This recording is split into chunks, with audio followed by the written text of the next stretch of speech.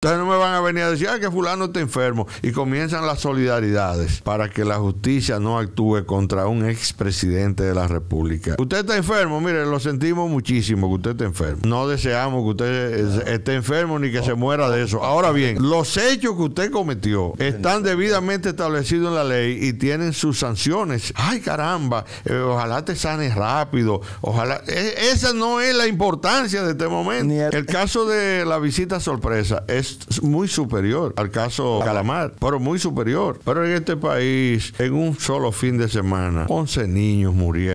Robert Reed por falta de oxígeno. Danilo desbarató 50 y pico de hospitales al mismo tiempo. Somos Pueblo Media, somos Pueblo TV, Ricardo Ripoll por aquí una vez más, dándole las gracias como siempre a esos fieles seguidores y recordándole a aquellos que nos ven y no nos siguen, que se tomen un segundito ahí, le den a suscribirse, que de esa forma nos ayudan muchísimo. Y a esa diáspora solidaria también, muchísimas gracias. Miren, señores, hay un tema en la palestra, el caso Calamar. Nosotros hoy trajimos una gente querida, admirada y respetada, no necesita mucha introducción eh, ustedes todos lo conocen, es Tomás Castro, eh, una gente con vasta experiencia en los tribunales, en los medios de comunicación y también eh, en todos los aspectos, litigando y hasta en la vida diaria. Una persona con mucha experiencia y trajimos para que él nos dé su parecer y comentemos diferentes tópicos del propio expediente. Bienvenido, ¿cómo está usted? Muy bien, hermano. ¿Cómo está la cosa? Bien, aquí, oh, contento de que usted esté aquí, porque a mí me encanta hablar con usted. Yo también. Mire, ¿Qué cosas le han llamado a usted la atención de este caso en específico? Que usted pueda decir que haya que prestarle atención. Bueno, lo que ha puesto en evidencia el caso Calamar es los niveles de podredumbre que tiene el sistema político en la República Dominicana. Si tú profundizas el caso, te va a encontrar que hay vasos comunicantes entre todos los partidos del sistema y entre la mayoría de los líderes de esos partidos. Hasta ahora solamente se han mencionado personas ligadas al expresidente Danilo Medina, pero cuando se profundice la investigación y si no llega, se llega a un penoso arreglo porque hay eh, personas que fungen en el ámbito judicial dominicano como eh, abogados, entre comillas, de los diferentes imputados, precisamente tratando de que no sea el sistema quien finalmente se ponga en entredicho y cuestionado respecto de estos actos de corrupción porque hablarse de 19 mil millones de pesos en una sola operación. Eso es increíble. Eh, te deja claramente establecido los niveles de complicidad y de coalición entre los diferentes funcionarios del gobierno y los diferentes líderes políticos que han participado en el esquema. Porque funcionarios corruptos han habido toda la vida, en la República Dominicana, pero que se haga una operación donde estén involucrados Contralor General de la República, administrador del Banco de Reservas. Que no lo han jalado. No, hasta ahora nada se ha dicho de eso y que usaran no solamente la plataforma del banco, sino también los camiones de seguridad. Bajo instrucciones del gerente. Claro, eso no se hace si no hay instrucciones de la gerencia, eh, porque la gerencia eh, domina y dirige todos los esquemas de seguridad y de, y de transporte de los valores que se ponen en los camiones. Yo quiero que tú sepas. Y las cantidades, doctor, de, dinero eran tan altas que eso en cualquier otro banco o cualquier otro tipo de operación, eso levanta alerta y hay que darle un seguimiento y hay que darle, pero no se lo daban, eso salía como que eran 100 pesos que estaban saliendo. Tú, por ejemplo, no sé si sabes, los camiones de transporte de valores en la República Dominicana, al igual que los camiones que transportan combustibles y cuestiones que son estratégicas del país, todos tienen GPS y todos tienen cámaras de seguridad. Se sabe dónde va el vehículo, a la velocidad que va, por dónde, va? por dónde va, si se para en el trayecto, con quién, hasta lo que hablan se escucha porque también tienen micrófonos que la central de seguridad va escuchando hasta las conversaciones que lo monitorean eso lo desconocía todo, lo monitorean eso lo del GPS lo sabía lo del monitoreo no. Sí sí. Incluso eh, yo eh, trabajé en una, en una empresa de, seguridad que le vendió tecnología a, la República Dominicana. Y en las pruebas que hicimos, por ejemplo, tirábamos un vehículo por una ruta X y hasta la hasta el kilometraje, ¿cuántos, ¿a cuántos kilómetros iba corriendo el vehículo? Y seguro la velocidad promedio. La velocidad promedio. Y si se paraba, eh, y dónde se paraba, y si hablaban, qué estaban diciendo. Increíble. Todo eso. Y quedaba grabado en, un banco. En, el sistema de, seguridad de esa institución. Lo que quiere decir que no pueden las personas que manejaban esos niveles de seguridad y de y de, y la forma en cómo se distribuían los fondos, no pueden alegar ignorancia porque todo eso incluso queda grabado en, el, en el sistema de seguridad. De la misma manera que al momento de entregar dinero, eh, quedaban la constancia de a quién se le entregaba. Yo no sé si tú recuerdas cuando mataron al coronel González y González. Claro, el caso de, de Figueroa. Cómo los diferentes organismos de inteligencia del Estado inician una, una acción rápida para llegar al apartamento tratando de buscar los CD donde descubrieron finalmente todas las orgías y todas las cosas, pero también estaban los videos donde se entregaban los dineros y a quién se le entregaba. Y detrás de eso era que ellos andaban para desaparecer. Porque eh, una persona que servía de enlace para eh, entregar sobornos, esa persona no era un ignorante porque nadie le iba a firmar un recibo. No, claro. Pero para, para llevarle al jefe la, la constancia de que se hizo lo que se hizo, tenía que grabar y tenían sistemas de seguridad y de grabación con cámaras ocultas y entonces todo eso se grababa. Lo mismo ocurría y ocurre en el Banco Central de la República, en el Banco de Reserva de la República Dominicana y en los bancos privados del país. De la misma manera que eso ocurre en todos los sistemas de las compañías que, que transportan combustibles. Porque antes un camión que salía cargado de combustible se paraba en el camino sustraían 50, 60, 100 mil galones de combustible, llegaban finalmente a donde debían llevarlo, supuestamente vaciaban el combustible, pero se quedaba en el camino. Ya eso no es posible porque todo el sistema de seguridad que tienen esos camiones. Para evitar esas pérdidas millonarias. Claro, entonces me va a decir a mí que todo eso se hizo primero sin la orden del presidente de la República, porque hay que comenzar a partir de ahí que yo quería que tocáramos ese tema. Qué bueno que usted lo trajo a colación. El presidente de la República era quien ordenaba al Contralor General de la República, al, director de presupuesto que tenía que hacer eh, los conduce, los libramientos, a través de los cuales se autorizaba que sumas de dinero que estaban en cuentas del Estado Dominicano en el Banco de Reserva se entregaran esa cantidad de dinero que se habla de maletas de dinero y de cajas de, dinero y de fundas de dinero.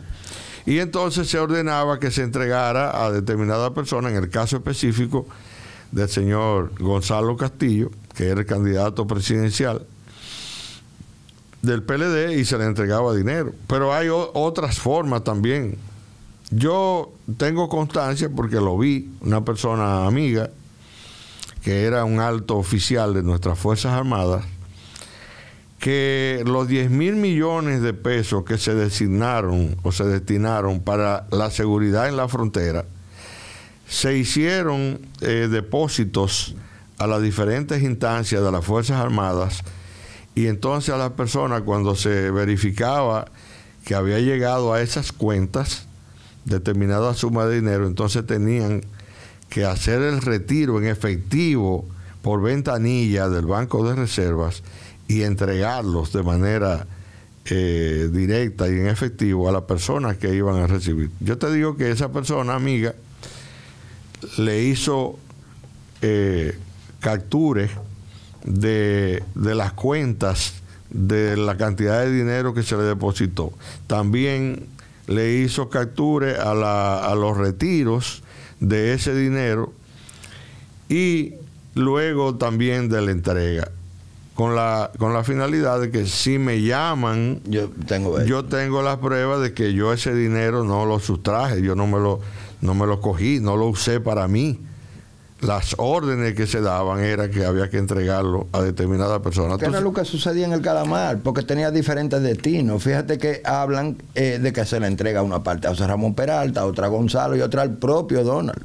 Claro, claro. Y en todas esas operaciones, en el camino se quedaban también unos unas comisiones a las personas vinculadas. Y ellos pellicaban también. Claro que sí. Fíjate que eh, hoy estaba yo leyendo que en efectivo, no en propiedades como ha pasado en el caso Coral y Coral 5G y en, y en, inmuebles, no, no, no, en efectivo, esos eh, delatores han entregado más de 2.100 millones en efectivo. Claro. Tú sabes la, la cantidad de dinero que es y con lo que ellos se han quedado. Pero yo tengo una teoría y sé que es así, casi seguro. Eso puede ser una tesis, no una hipótesis. Y es que si se está hablando de 19 mil y pico de millones, eso es lo que se pudo probar. Eso es, lo que se pudo es una, sola, operación. Pero esos son cientos de miles de millones que esa gente manejaron y se robaron, Castro. Claro que sí. Hay casos, por ejemplo, que luego de terminada la autopista El Coral, ya estando terminada, hicieron una adenda de 100 millones de dólares, los cuales los recibió Gonzalo Castillo. Y hay otros hechos, como fueron las, las adendas de Odebrecht y las adendas de otras instituciones, por ejemplo, Punta Catalina, eh, la de la presa eh, no hay mucha, hay un tema ahora mismo con unas adendas en, el actual gobierno, con el actual ministro de la Pública, que lo veo que está en la palestra de, la, una adenda inmensa de la autopista Duarte, ya terminada. Sí, me dicen que posiblemente el ministro de Obras Públicas se esté querellando en contra de, del señor Espallá. Ah, sí. Sí, según me, informaron. Eh, sobre la base de que este ha hecho público una copia del contrato mediante el cual se hizo esa operación. Eh, la gente se está volviendo loca en este país, evidentemente que sí.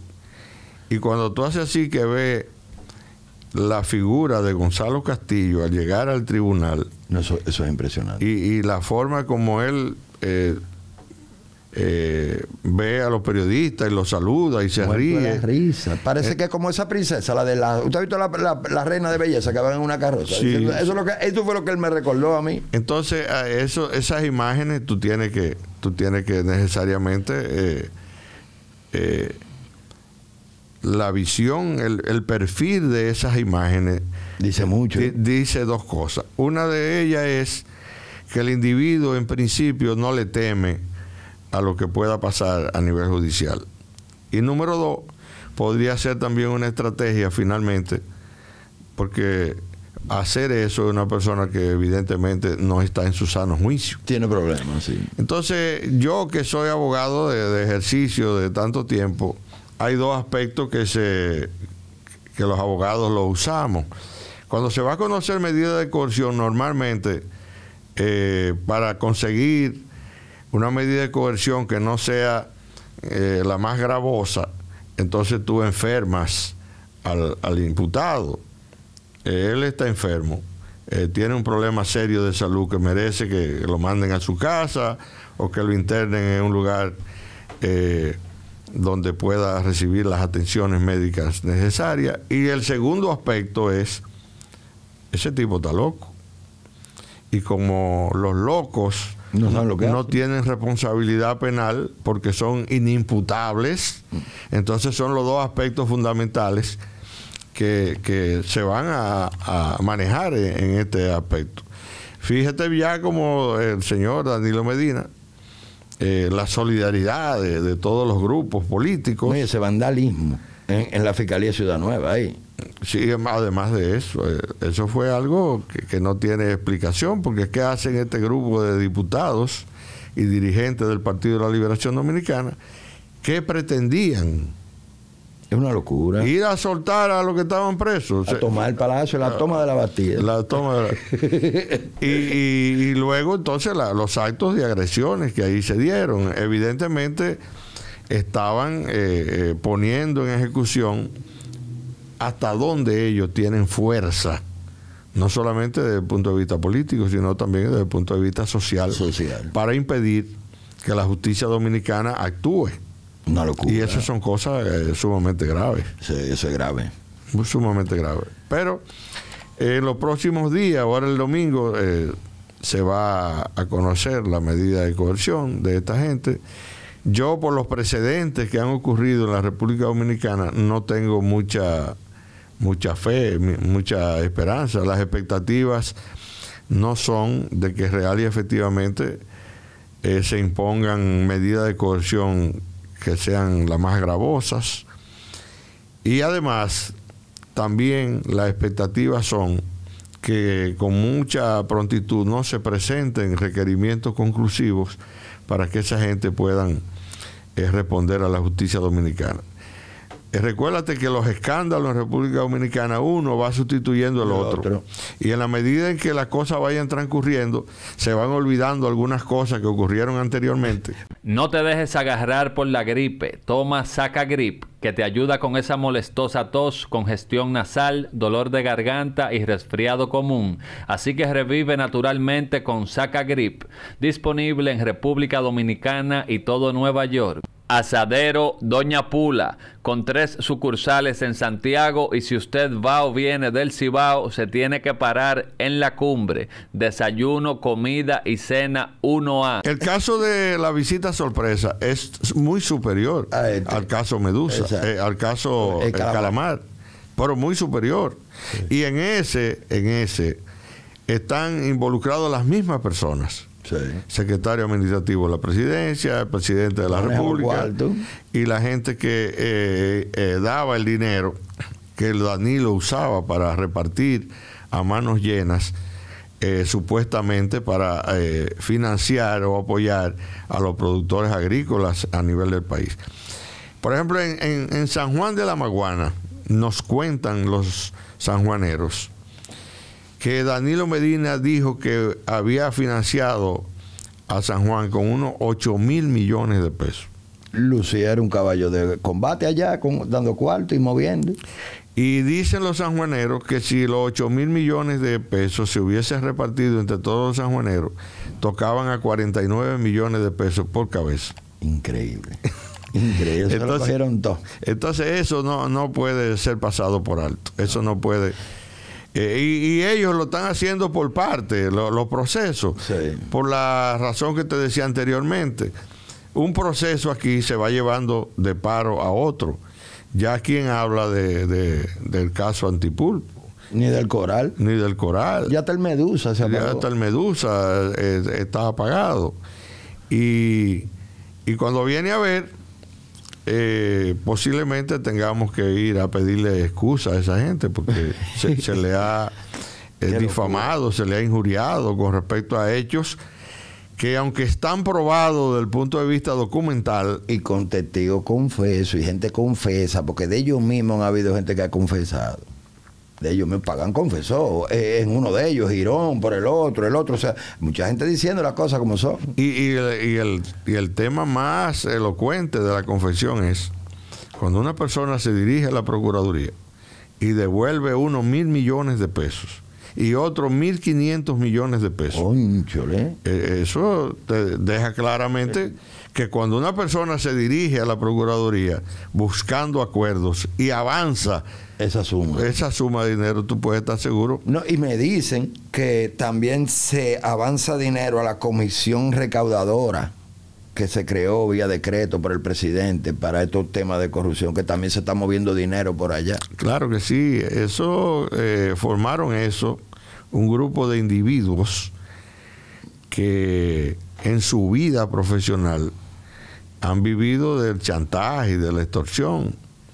Y esos grupos de abogados lo creó precisamente la consultoría jurídica del Poder Ejecutivo. Pero hay problemas ahí. Incluso individuos de esos que nunca estuvieron cerca ni del PRD ni del PRM, sino que son individuos que, que pululaban. Yo te puedo, por ejemplo, hablar de abogados que están en ese proceso, que andaban con Domínguez Brito para arriba y para abajo eh, haciendo cosas. Y hoy son miembros de esa famosa. Oh, y hoy son miembros de esa de ese, de ese, pilar de moralidad que está cobrando cuarto y negociando con los imputados. Así es. Y, y hay abogados, por ejemplo, que han firmado contratos de cuota litis con el abogado, con el Estado Dominicano donde le han asegurado suma hasta de 9 mil millones de pesos que el Estado tendrá que pagarle como consecuencia de la supuesta o real recuperación de los bienes robados.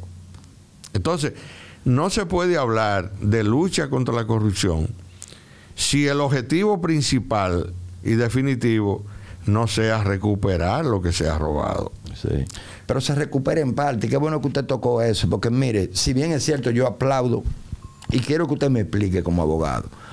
Yo tengo unas inquietudes y estoy, y, una gran mayoría del país lo está. Eh, si bien es cierto, aquí se está haciendo un trabajo que nunca se había hecho, sin precedentes, esa PEPCA de hoy, esa Procuraduría, esa Miriam, Jenny, Camacho y el equipo completo son parte de la historia contemporánea, van a estar en los libros, han hecho cosas sin precedentes, todo eso es verdad pero está siendo permisivo. Entonces, no se está atacando la corrupción. ¿Qué es lo que yo digo? Se está atacando a, la, a las cabezas eh, de ciertos grupos políticos. ¿Por qué le digo eso? Los delatores, por ejemplo, del caso Medusa, Canón, ese era tigre, era duro. Ese tigre está en España con su cuarto lavado, muchísimo dinero de todito nosotros. Fue, actuó tanto, igual o más que el propio Jean Alain. Y ese tigre está viviendo una vida de reyes. Eso es en el caso Medusa. Hoy, hoy, Mimilo Jiménez, el chivito, el mago, el mago le decían a Crisóstomo porque era el que conocía, esos son los codenomes de ellos de este caso, son chivito, mago, Mimilo no se guillaba. Esos tigres celebraron cuando estaban haciendo el allanamiento en, en Casecampo y fueron a Palmilla y bailando y fiesta y lancha. Se acaban de comprar una Simú de 132 pies, de 10 millones de dólares, 560 millones de pesos. Entonces, eso, porque ellos confiesan y dicen y devuelven una parte del dinero, se le lava a lo otro y se está mandando una señal en bromona y a los mismos políticos. Ahí no enteramos hoy que a Friso eh, Mesina lo habían sacado ya de viceministro, pero eso era un brazo operativo de estos cuatro leones. ¿Entiendes? Y él es el, marido de una de las hijas de Hipólito. Este casi no sale. Aquí que tengo esto casualmente, eh, eh, Mérido Torres, actual eh, encargado de titulación, con una cifra enorme y, está nombrado. Entonces yo digo, ¿qué corrupción es que se está atacando? Solo la de la cúpula. Se está mandando como un mensaje equivocado, Tomás, que a mí, a mí eso me tiene confundido. Sí, pero, pero están cometiendo un error. Mira, mira qué es lo que sucede por ejemplo, los bienes sustraídos al Estado Dominicano por parte de esa organización criminal, sobre todo en el caso de Donald Guerrero, que tratando de lavar el dinero hicieron inversiones en Puerto Rico. Puerto Rico es un Estado libre asociado de los Estados Unidos y las leyes federales norteamericanas se aplican en Puerto En Puerto Rico. Entonces, uno de los grandes inconvenientes que van a tener esa gente es que pueden lograr con la complicidad política de los partidos y de, este liderazgo podrido que hay aquí, eh, llegar a algún tipo de acuerdo. Pero el tío San eh, va a pedir su parte y hay gente de esa que podrán aquí resolver su problema mediante acuerdos pero los Estados Unidos podrá pedir a alguna gente en extradición. Sí. porque hay lavado de activos a, todos los niveles. A todos los niveles. En empresas que, que de que están registradas en la Bolsa de Valores de los Estados Unidos y que a ellos, al tío San, le, le han... interesa, le gusta eso. No, y que, y que le, han, le, han, tumbado su parte. El tío San en eso no juega. No juega. No juega. Oye, la, la, parte mía, ¿dónde está? Sí y que se pronunció el gobernador de Puerto Rico, que es el, el, el, equivalente al presidente. O sea, nosotros estamos abiertos y nuestro Departamento de Justicia y nosotros, estamos a la orden para cooperar. Sin que la República Dominicana haya solicitado ah. eh, colaboración internacional. Que eso te deja a ti bien claro. Que ellos saben. Que ellos tienen... sí, porque el dinero deja sus rastros. Sí.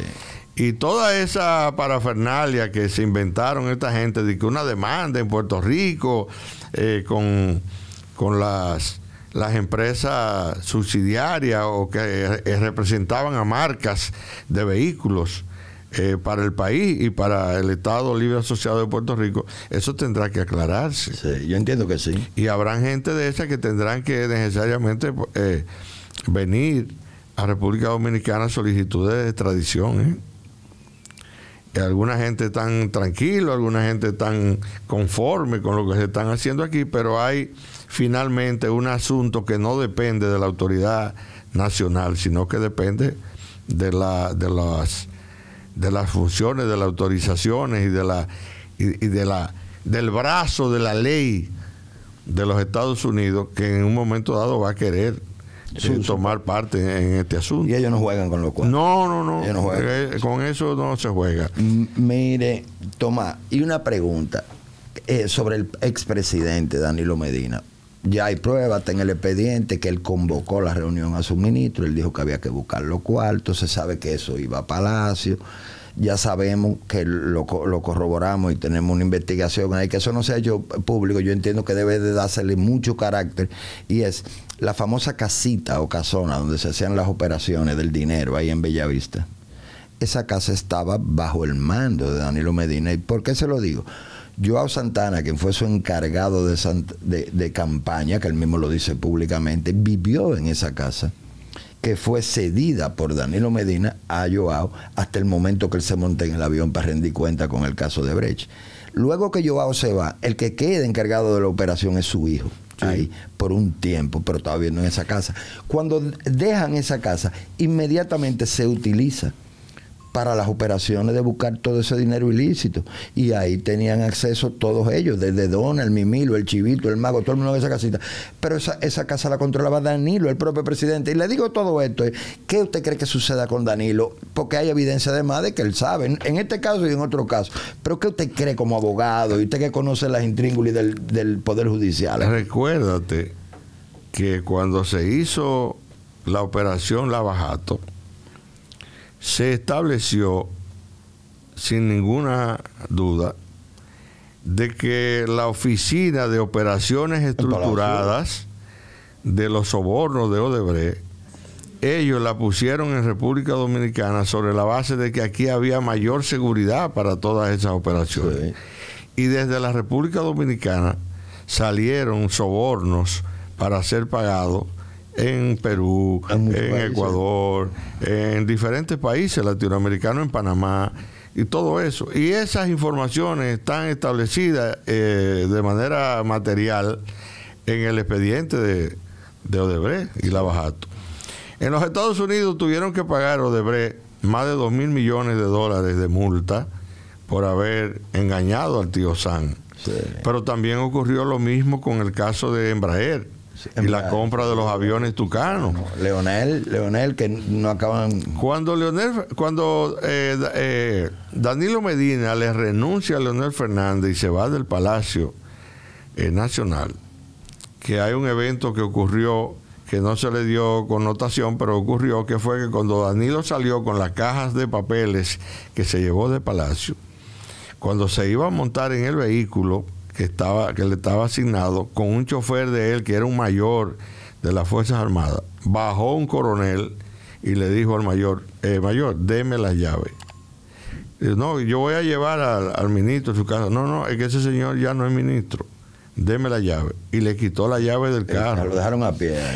Tuvo Danilo que llamar a uno de los de los amigos de él, un hermano de, los de los Pared Pérez, para que fuera a buscar para que fuera a buscarlo. era de la gente de confianza del Y él se llevó una serie de documentos que tú puedes estar seguro que si a él lo presionan, él va a revelar el contenido de esos papeles que va a involucrar de manera directa a Leonel Fernández y a, y a la gente que estaban con Leonel Fernández en el palacio en ese momento. Usted sabe que a mí me llegó una información eh, y inclusive querían hacernos una petición a nosotros que de ese horizonte de la fuerza del pueblo, de, del lado de Leonel Fernández, eh, querían que se evitara, que se hablara de Ureña, de Jiménez Coli, de Crisóstomo.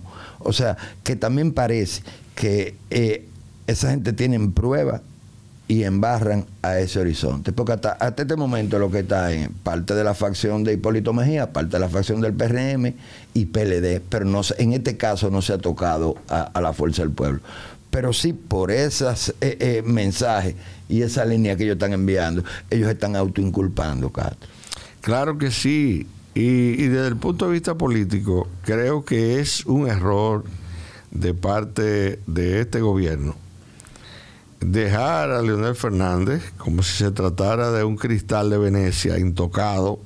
Es que aquí la gente tiene una memoria. Porque el Partido de la Liberación Dominicana, frente a lo que ha ocurrido en estos días, el cuestionamiento será tan grande y tan fuerte que mucha gente buscará la ropa, buscará la sombrilla verde de la fuerza del pueblo. Sí, este caso yo entiendo que es un catalizador y un acelerador para que haya una fusión del PLD y, el, y, el, y la fuerza del pueblo. Eh, y más ahora con los cinco tuits, eso que tiró Danilo ayer del cáncer de próstata, un hombre que no tiene posibilidad de reelección, un hombre que está enfermo, un hombre que su círculo más cercano está todos en expediente, su familia, cuñado, eh, eh, seguridad, hermanos, hermano, procurador y su principal es anillo. Eh, entonces, el GIEDE ya. Porque eh, eh, a la gente no le puede olvidar que desde que Leonel, sin tener todas esas limitantes, ¿verdad? agravantes, Edía en el PLD cuando ya no era poder, sino que todos traicionaron a Leonel, la gente que Leonel hizo y se fueron con Danilo. Eso se lo van a hacer a ellos también. Lógicamente, pero como aquí la recomposición de las fuerzas políticas, sobre todo de los no tocados.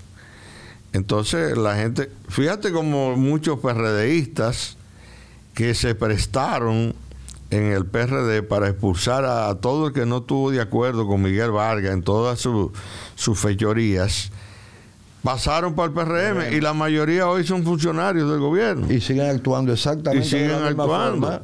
Y muchos de ellos están vinculados a esas operaciones del danilismo y también están vinculados a las operaciones del leonelismo. Y están vinculados muchos de ellos con las operaciones de este mismo gobierno relacionados con esas mafias de esos otros grupos. Entonces va a llegar un momento en que eh, un loco que llega con una lata llena de estiércol y comienza a, moverla y comienza a salpicar a todo el mundo. Y todo el mundo saldrá salpicado. Entonces, frente a eso es que nosotros tenemos eh, una posición de que esta partidocracia que tenemos actualmente en el país, tenemos que buscar una tercera vía para que este país pueda salir de una vez y por todas de todos estos individuos de manera conjunta. Bueno, aquí hay que hacer algo, Tomás, aquí hay que hacer algo. Porque mire, eso que está diciendo, esto lo corrobora. Mire, son gente que están en el caso Calamar. Eh, hay miembros del PRM, ahí está Mérido Torres, por ejemplo, pero todos los segundos y los que estaban involucrados en esta operación siguen ahí premiando y trabajan en conjunto. Le digo esto porque estoy corroborando lo que usted dice, es que ellos actúan entre ellos todo, sin distinción de color o bandera política. Y tú no puedes, tú no puedes eh, apetrecharte, cubrirte sobre la base. No, yo lo que hice fue que yo actué como abogado. No, no, un momentito. Porque precisamente a mi oficina van muchísima gente a proponer cosas, pero el, el que me propone asuntos que no estén revestidos de la ética, de la moral necesaria y de la legalidad necesaria para actuar, yo no acepto. Claro. ¿Por qué? Porque me voy a ver in- involucrado en cuestiones que cuando salgan a reducir yo no tendré ninguna excusa para justificarlas. Que déjeme decirle, eso le ha costado muchas carreras a abogados como Martínez Hopperman y Julio Curi, defender los mal hechos. Ellos han dado un calentón en la palestra y este caso también está eh, sacando figuras a relucir como Laura Costa, que aunque es amiga mía la aprecio, le tengo cariño, la respeto. eh, eh, me extrañó y hasta cierto punto me, me dolió verla defendiendo un tipo como Gonzalo Castillo, ¿te entiendes? Como abogada eh, tiene todo el derecho ella lo tiene, ella lo tiene. de defender a quien ella entienda que deba defender. Pero a veces, al momento de tú actuar, eh, a veces hay que tomar en consideración eh, las memorias de, de quienes son eh, tus progenitores. Porque ha- hay que entonces irse un poquito atrás y, y hablar y pensar quién fue Piquilora. Pero como abogada ella tiene pleno Sí, derecho a defender. derecho y a- hay que aplaudirlo. a defender eh, a quien ella quiera defender. Sí, sí. No, porque yo me lo encontré raro. Es simplemente por eso lo, hice el comentario y corroborando lo que usted dice, que hay casos que usted no lo toma por ética. Eh, he visto casos en el pasado de abogados que han agarrado casos de estos corruptos que le han perjudicado en su imagen personal y por, por- por lo tanto en su carrera profesional. Y eso lo hemos vivido. Claro, de la misma manera que los políticos que de manera pública salen a justificar cosas, por ejemplo, no es verdad, como dice Hipólito, que estamos frente a una retaliación. No hay una retaliación. No, eso es acto de corrupción. La- los actos de corrupción que se han presentado, que están eh, desde el punto de vista material justificados de que, de que ocurrieron, o sea, las pruebas están ahí, eso no se puede pasar por alto. Pero es que ellos ni siquiera se defienden. Usted sabe qué es la burla. Y para que usted vea el grado de descomposición social, política, y yo ni sé qué más decirlo. Entonces, ¿cuál es uno de los argumentos de la defensa del comité político, de su vocero como José Dante, que anda en la calle hablando un bando de plepla? No es que ellos están defendiendo que son inocentes, mira la prueba de inocencia, no. Es que otros lo hacen. Mal de mucho consuelo de tonto. No, pero a Luis le dieron, vamos a sentarlo. O sea, ellos no se están dando cuenta. Yo no sé cómo, o sea, yo no soy abogado, pero ellos están inculpando. O sea, ellos están diciendo, sí, es verdad, pero eh, a ellos también.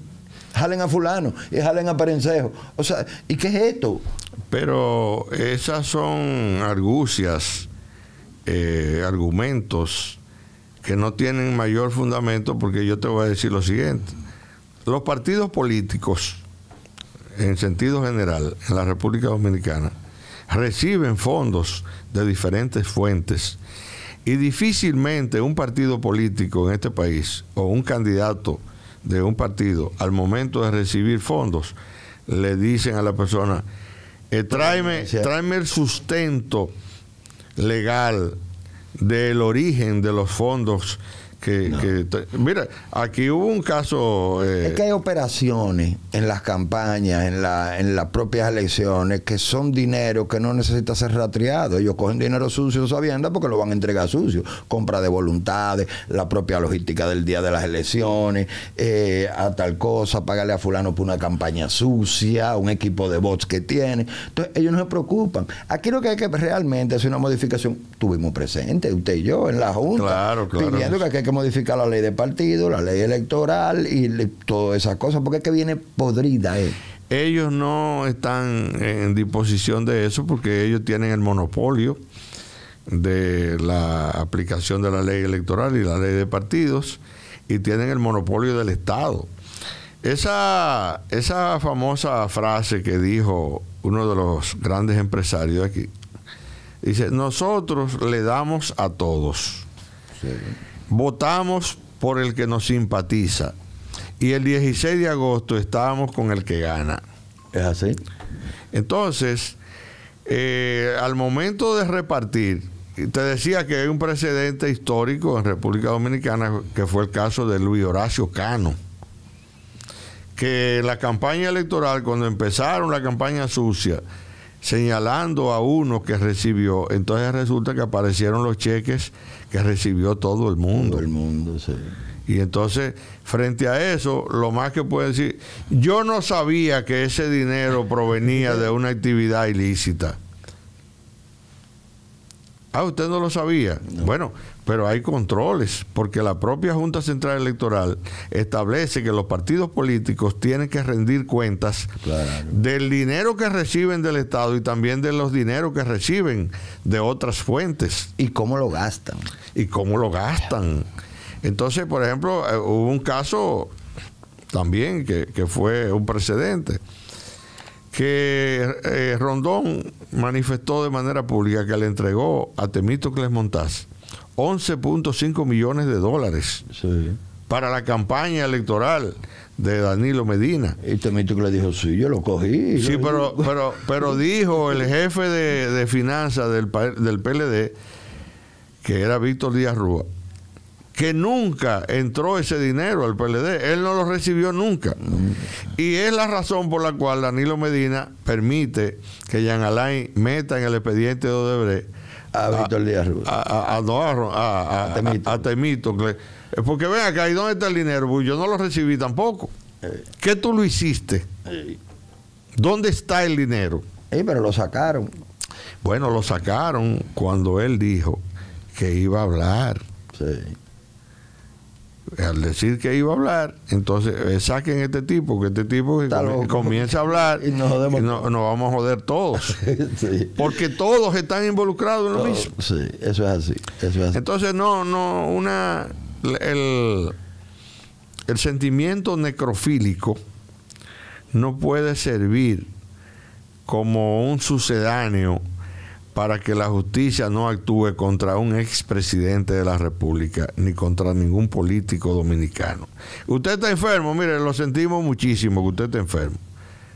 No deseamos que usted esté enfermo ni que se muera de eso. Ahora bien, que se mejore. los hechos que usted cometió están debidamente establecidos en la ley y tienen sus sanciones específicas. y que él está doblemente protegido en el sentido de que por su edad su condena va a ser más suave y todo, pero él hay que ponerlo porque él fue responsable y él está involucrado directo. Hay demasiadas pruebas. El Código Penal establece en el artículo 172 que en materia de desfalco la persona tiene que ser condenada a devolver tres veces la suma defalcada. Tres veces. Lo que quiere decir que no pueden venir acuerdos que estén por debajo de la suma defalcada y mucho menos por debajo de la de, la, de tres veces la, suma defalcada. Pero es que ellos están entregando son por ciento pírricos y mínimos de lo que se están defalcando. Sí, esos son eh, escenarios eh, realmente obscenos. Diciéndole a este país y mandando un mensaje que usted puede robar y robar mucho, que al final podemos llegar a un acuerdo, usted devuelve parte de lo que se robó y lo demás usted se queda con ellos para voy disfrutar. en mi lancha en Casa Campo.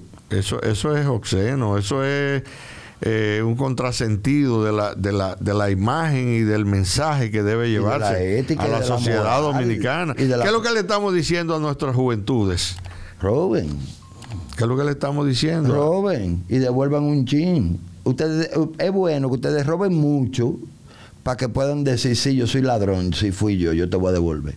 Porque el del plátano sí se jodió. El que se roba el racimo de plátano. Sí, y el que se roba siete libres yuca, o el que se roba... Una gallina. 22 chinolas. Sí, eso se jodieron. Eso se jodieron el que se robó el salami. El mensaje es no robe poco, roba con banda y aprende a negociar. Tú puedes buscar a esta gente, te pueden dar lecciones cómo negociar con la, con la justicia. Y, y hay otra, otra, eh, otro mensaje. Involúcrate en la política. Que los políticos de este país no lo vamos a sancionar nunca. No importa lo que hagan, no importa la cantidad de dinero que se roben porque tenemos un país, además, que es indolente. Porque en este momento, en este momento, el pueblo dominicano debería estar tirado a la calle. No el PLD No. presionando y rompiendo puertas. No, no. El pueblo dominicano hace rato que debió estar en la calle exigiendo que se haga justicia contra los ladrones. Sin embargo, el pueblo dominicano, algunos locos como nosotros, que, que, que de manera permanente vamos a los medios de comunicación y hablamos y decimos cosas, pero el pueblo dominicano no se ha manifestado. No. No se ha manifestado. Este es un momento para que la Plaza de la Bandera debería estar tomada Repleta. y, y el monumento de Santiago y, todos los monumentos nacionales que son eh, vivos eh, eh, estandartes de, de la dignidad, del decoro, de la patria grande que nos legó Duarte, Sánchez, Mella y Luperón, estén tomados por el pueblo dominicano sí, bien. exigiendo justicia. Eso es así. Entonces no me van a venir a decir "Ah, que fulano está enfermo y comienzan las solidaridades. Comienzan esos sentimientos necrofílicos, a decir, ay caramba, eh, ojalá te sanes rápido, ojalá. E- esa no es la importancia de este momento. Ni la actitud, porque yo le voy a decir algo. Si bien es cierto, está enfermo, me da pena, ojalá se mejore. Pero ¿sabes por qué yo quiero que se mejore? Es para que pueda rendir cuenta de lo que él hizo. Entonces, eh, otra cosa que yo digo, él sabe de hace mucho, pero este no es el primer viaje, él estado dando par de viajes, está en chequeo médico, está en todo. Él sabía que tenía esa enfermedad, él se le está tratando. ¿Por qué cuando explota este caso es que él se victimiza? Él está buscando cierta impunidad y cierta inmunidad y eh, él se está escondiendo, lamentablemente, detrás de esta enfermedad. Pero, conchole, o sea, así no. Pero en este país, en un solo fin de semana, 11 niños murieron en el Robert Reed por falta de, de oxígeno. Esa vez, no, 18, no fueron 11, 18. ¿Y cuántas niñas, mujeres mueren en nuestra maternidad por falta de Tenemos una de, atenciones las médicas? ta- una de las tasas más altas ¿Cuán- del mundo de mortandad neonatales. Yo vi ahí eh, una información que dio el colegio médico, creo que fue, que hay alrededor de 50 mil pacientes de, problemas renales en este país que, que tienen que dializarse y a veces no existe, no aparece un filtro para hacerle una diálisis a un enfermo. Pero ni hilo para dar punto. Pero yo, nosotros hicimos un reportaje que nunca lo subimos. Yo lo tengo hecho sobre algunas salas de diálisis. Yo quiero que usted vea las condiciones de eso, Tomás. Eso es una cosa que yo era ante la Pero vi un hospital en el sur del país que tiene 11 años paralizado, que no se ha concluido por falta de fondos. Una locura. Que tenemos, eh, que Danilo desbarató 50 y pico de hospitales al mismo tiempo. Que le dieron, 56. que le dieron eh, eh, contratas a personas para construir 600 mil butacas para la escuela y solamente entregaron 80 mil. Y, y le dieron un 20% de avance a gente para construir la escuela en sitios donde ni siquiera el solar estaba. Ah, sí, así es. Y que acaban- y escuela completa construida donde no hay gente. Una locura. Y una escuela con tres o cuatro aulas y hay 30 empleados. Sí. Óyeme, Yo vi una que tenía 16 conserjes. Entonces, Esa estaba en un campo de moca. 16 conserjes. entonces eh, esa es la esa es la sociedad y el estado que tenemos. Y tenemos que conformarnos y tenemos que quedarnos callados y tenemos que sal- salir a ponderar y a decir eh, que hay que cumplir con el debido proceso y tutelarle los derechos a toda esta gente. Yo estoy de acuerdo con eso, que le tutelen los derechos. Pero es que, yo, pero es que esa gente y esos corruptos lo que han hecho es violarnos, no solo los derechos, a nosotros mismos nos han violado. Sí, pero- A 13 millones, pero 12 que- millones. que le tutelen- eh, ¿A dónde están los derechos de nosotros? que le tutelen sus derechos, pero en ¿y dónde definitiva que hayan consecuencias de carácter legal y penal para todo el que ha robado en este país. Y no importa el cargo político, ni si usted cantó o no cantó, ok, vamos a negociar. ¿Usted sabe cómo se maneja el tema de los testigos y, eh, importantes, como este caso, como esto, por ejemplo, eh, eh, el chivito, el mago, etcétera?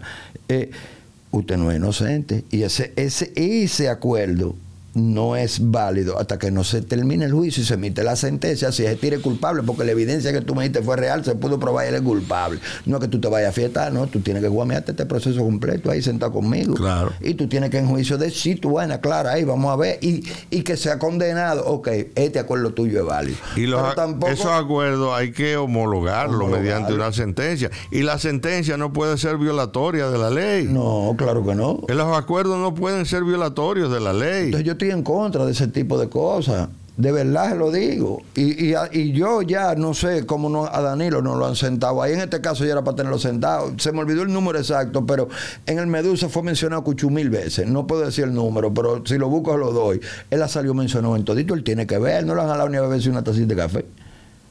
Así es. Bueno, el doctor, muchísimas gracias.